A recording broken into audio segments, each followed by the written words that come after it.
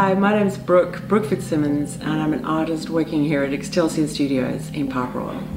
Welcome to my messy studio.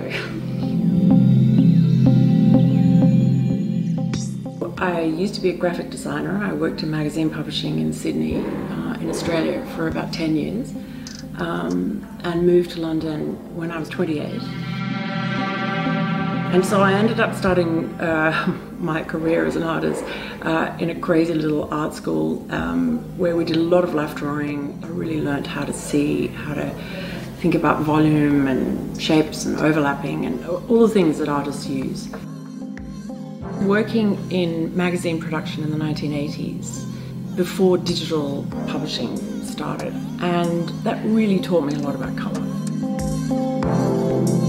So I used that years of looking at colour proofs, looking at photography, thinking about things being cool or warm, or that all came into play when I started painting. And I used quite an old-fashioned way of painting, which was to, to work with, with a basic underpainting and then layers of colour over the top. I could make very thin glazes of oil paint and I would layer them and they become very luminous and beautiful. So it's a bit like layers in Photoshop definitely an aim to try and make these very minimal, very open and accessible paintings. I don't want them to be about anything specific. It's just about human beings in space, in nature.